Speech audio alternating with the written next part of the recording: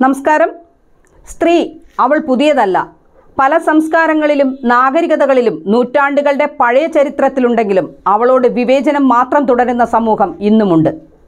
സ്ത്രീ ആയതുകൊണ്ട് മാത്രം പൊതുയിടങ്ങൾ അന്യമാവുകയും അടുക്കളയുടെ നാല് ചുമരുകൾക്കുള്ളിൽ ഒതുങ്ങി കരിപുരണ്ട് ജീവിതം അവസാനിപ്പിക്കുമ്പോൾ മാത്രം അവളെ ഓർക്കുകയും ചെയ്യുന്ന മറ്റൊരു സമൂഹവും ഇന്നും നിലനിൽക്കുന്നുണ്ട്. എന്തിന്? ദിനം പ്രതി വീട്ടുമുറ്റത്തെത്തുന്ന ദിനപത്രത്തിൽ പോലും അവൾക്കെതിരെയുള്ള ഒളിയമ്പുകളുണ്ട്. പറഞ്ഞും എഴുതിയും പഴകിയ പത്രത്താളുകളിലെ സ്ത്രീവിരുദ്ധ ഭാഷാപ്രയോഗങ്ങൾ ആരും ശ്രദ്ധിക്കാറില്ല എന്നതാണ് സത്യം. കീഴ്വഴക്കങ്ങളായ ഈ ഭാഷാ പ്രയോഗങ്ങൾ ഇന്നും മലയാളികൾ പറഞ്ഞുകൊണ്ടേയിരിക്കുന്നു. പത്രങ്ങളിലെ സ്ത്രീവിരുദ്ധ വാക്കുകളും പ്രയോഗങ്ങളും അവസാനിപ്പിക്കുന്നതിനുള്ള നടപടികൾ സ്വീകരിക്കണമെന്നാവശ്യപ്പെട്ട് മുഖ്യമന്ത്രിക്ക് നിവേദനം നൽകിയിരിക്കുകയാണ് മലയാള പെൺകൂട്ടം.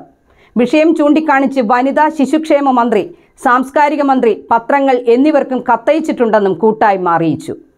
മാധ്യമങ്ങളിൽ തുടർച്ചയായി പ്രത്യക്ഷപ്പെടുന്ന ആറ് പദപ്രയോഗങ്ങളാണ് മുഖ്യമന്ത്രിക്ക് അയച്ച കത്തിൽ പ്രധാനമായും ചൂണ്ടിക്കാണിച്ചിരിക്കുന്നത്. സ്ത്രീകൾക്ക് നേരെയുള്ള ലൈംഗിക അതിക്രമങ്ങൾ സൂചിപ്പിക്കാൻ മാനഭംഗം എന്ന പദം പത്രങ്ങൾ ഉപയോഗിക്കാറുണ്ട്. കൂടാതെ ചരമകോളങ്ങളിൽ മരിച്ച സ്ത്രീയുടെ പേര് പറയുന്നതിന് മുമ്പേ ഇന്നയാളുടെ ഭാര്യ അല്ലെങ്കിൽ മകളായ എന്ന് പറഞ്ഞുകൊണ്ട് മാത്രം സ്ത്രീയുടെ പേര് സൂചിപ്പിക്കുന്ന രീതി.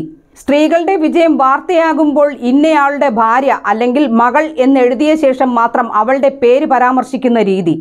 സ്ത്രീകൾ ആർക്കെങ്കിലും ഒപ്പം വീട് വിട്ടു പോയാൽ മാത്രം സ്ഥിരമായി ഉപയോഗിക്കപ്പെടാറുള്ള ഒളിച്ചോടി എന്ന പ്രയോഗം. അപകടങ്ങൾ റിപ്പോർട്ട് ചെയ്യുമ്പോൾ മരണസംഖ്യ സൂചിപ്പിക്കാൻ സ്ത്രീകളടക്കം ഇത്ര പേർ എന്ന് പ്രയോഗിക്കുന്നത്.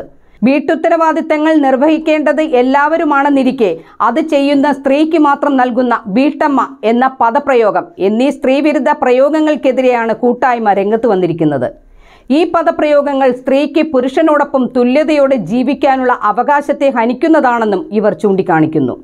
പൊതുബോധത്തിൽ ഉറച്ചുപോയ ഇത്തരം ഭാഷാപ്രയോഗങ്ങൾ സ്ത്രീകളുടെ സ്വത്വത്തെ അവഗണിക്കുന്നതും അന്തസ്സിനെ ഇകഴ്ത്തുന്നതും ഇന്ത്യൻ ഭരണഘടന ഉറപ്പു നൽകുന്ന തുല്യതയ്ക്ക് നിരക്കാത്തതുമാണ്.